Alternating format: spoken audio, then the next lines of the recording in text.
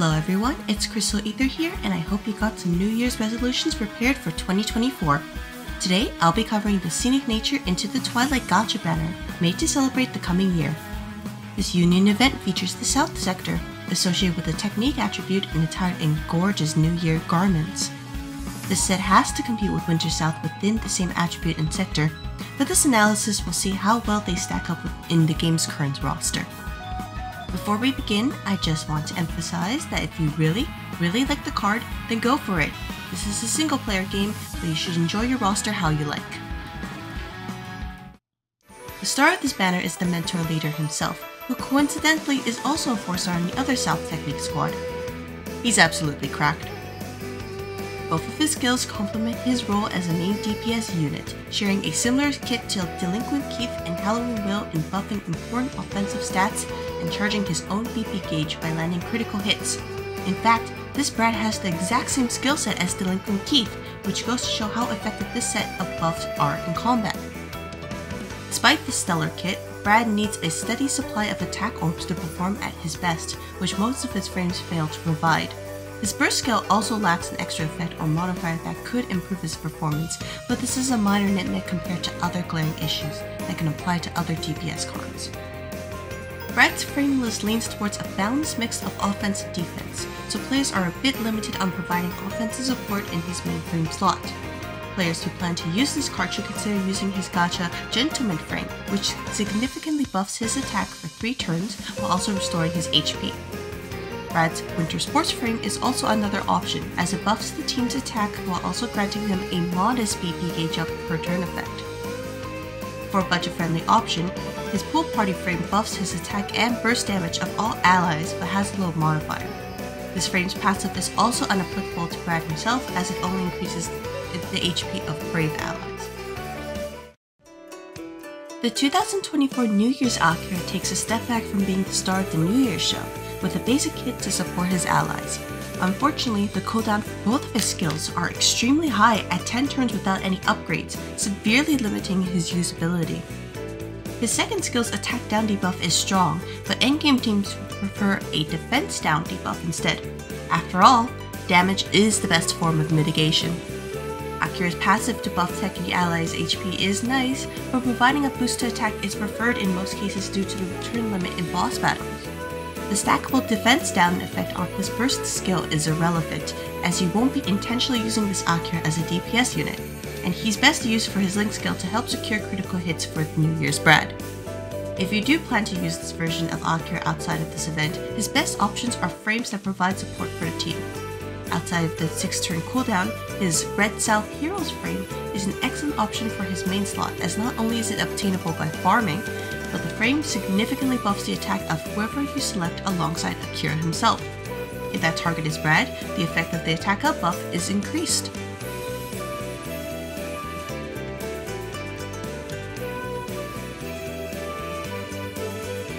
Alternatively, the Rampage frame is another option as it buffs the entire team's burst damage. Use this frame if you plan to bring a sub DPS into the team, such as New Year's Oscar. Lastly, the hunting frame can be equipped on him to provide offensive support, as it synergizes well with the New Year's Brad skill set. The other South rookie shares the same problem as his friend, as well has a very high cooldown on for his active skills. His healing skill isn't very important in the long run once you have enough damage, but locking his BP gauge up skill behind an initial 2 turn cooldown alongside an excessive 11 turn cooldown with 0 limit break levels is appalling. Will's burst skill is also the same as his 3-star banner buddy, but that doesn't justify intentionally using him over Brad's sheer offensive might. Unlike Akira, Will provides a boost to his Technique ally's attack, but it's better to bring a stronger supporter if they're available in your roster, as they can outperform a single passive. Players planning to use this card might encounter some difficulties, as most of Will's stronger frames rely on the Poison debuff, which is a status effect this version of Will cannot inflict. The hunting frame is a good option for any support unit, though note that the echo damage is determined based on Will's attack stat. Other options for this will include his firefighter frame, which can significantly buff the team's burst damage for one turn, his gacha cooking frame if you want to guarantee critical hits for the entire team and don't want to use a critical rate uplink, and his event cooking frame, which grants a single ally a modest amount of gauge while also buffing the attack of Technique allies through its passive. Rounding off the set is Oscar, the freebie that players can obtain from participating in the current Union event. The South Mentor is ready to support Red with plenty of offensive support, bringing a powerful defense down debuff, a bleed damage modifier he can enable on his own, and important buffs to key offensive stats. This card also has respectable damage in his burst skill, so he can act as a sub DPS in the team when taking his buffs into consideration. Oscar also has a damage uplink, which is valuable for Brad as the latter can easily secure critical hits and can buff his attacks sky high it's clear that when these two work together, there's very little that can get in their way. It's very hard to go wrong with this version of Oscar, as he has a very effective skill set for his role. The only addition I'd make to his skill set is giving him the ability to buff critical damage and damage up versus passion, but I understand that this would be overkill for a free unit. At least we can dream.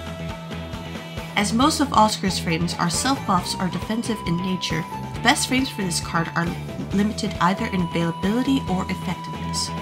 His event-exclusive Winter Sports frame is the best one to support Brad, as it gives the team a stackable damage up modifier against passion enemies. Players who don't have this frame can also consider Oscar's Cooking frame, which gives a special attack orb to all allies while also buffing their attack and defense, or the Hunting frame for the echo damage effect. However, the frame that can be obtained from this vet can be used if none of the previous frames are available, as it lets Oscar provide BP to his team. It's generic, but it works for his role. The South Sector rings in the new year with an amazing event set that can easily keep up with the recent card sets released in Helios. To summarize these past few minutes, none of the cards are outright unusable and Brad is a star that joins Helios' roster as a powerful DPS card. It's a shame that the rookies had to underperform so that the mentors can shine, but Oscar's status as a free unit means that he'll be an asset for many players, new or old. That's all for this analysis. If you enjoyed the content, please consider subscribing to the channel. Otherwise, I'll see you all in the next video.